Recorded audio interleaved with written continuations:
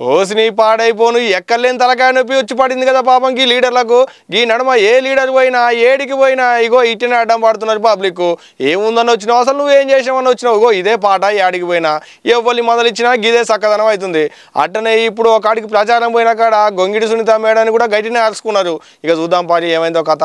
తెలంగాణలో ఓట్లు దగ్గర పడుతున్న కొద్దీ పబ్లిక్లోకి పోయి ఓట్లు అడిగేటందుకు కూడా గద్దు నొనుకుతున్నారు లీడర్లు. అందులో కార్ పార్టీ లీడర్లు అయితే ఇంత ఎక్కువనే జంకుతున్నారు.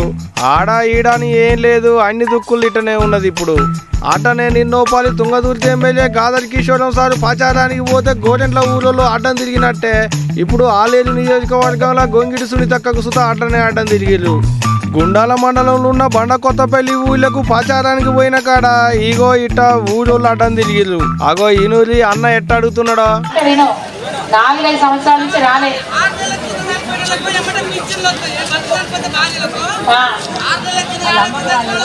వచ్చినాయి పెన్షన్లు వచ్చినాయి వస్తాయి వాళ్ళకు కూడా వస్తాయి.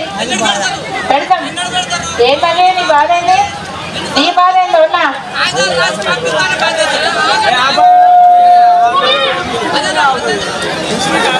అది ఇన్నరాగా అన్న అడుగుతుంటే సునీతక్క ఎట్ట మరల పడుతున్నదో?